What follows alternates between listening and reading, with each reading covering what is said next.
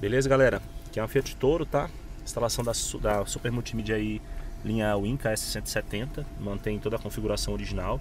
Nesse carro também colocamos uma caixa de grave Slim, embaixo do banco aquela linha JBL, uma caixa excelente em relação à qualidade de áudio. Perfeita. É, aqui mantém toda a configuração original, inclusive a configuração da câmera também. Esse carro já mantém a câmera original de fábrica e com as linhas ativas, né? Essa aqui já habilita ela direto. Beleza? A caixa de grave ela fica embaixo do banco cantinho.